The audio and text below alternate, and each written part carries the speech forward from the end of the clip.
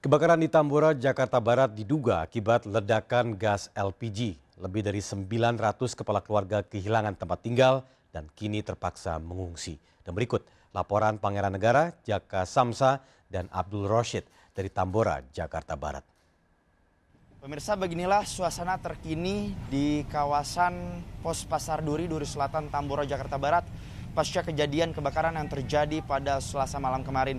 Seperti yang bisa terlihat pemirsa bahwa banyak sekali puing-puing sisa reruntuhan rumah akibat kejadian kebakaran semalam yang berserakan dan memang menurut data yang kami dapatkan dari Lurah Duri Selatan yakni M. Gufri dikatakan bahwa setidaknya ada lebih dari 113 rumah yang hangus di lahap api pada kejadian kebakaran selasa malam kemarin.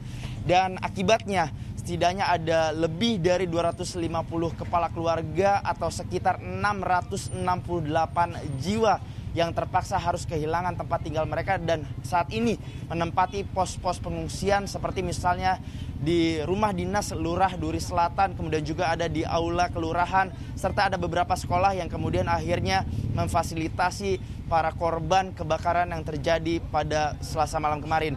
Sejumlah bantuan yang disalurkan oleh pihak uh, pemerintah khususnya di kota Jakarta Barat dan juga Pemprov DKI Jakarta seperti tenda misalnya dan juga alas tikar untuk kepentingan mereka beristirahat dan juga sudah ada makanan siap saji yang memang disalurkan untuk bisa memenuhi kebutuhan mereka sehari-hari dari Jakarta Pangeran Negara Abdul Rashid dan Jaka Samsa News melaporkan.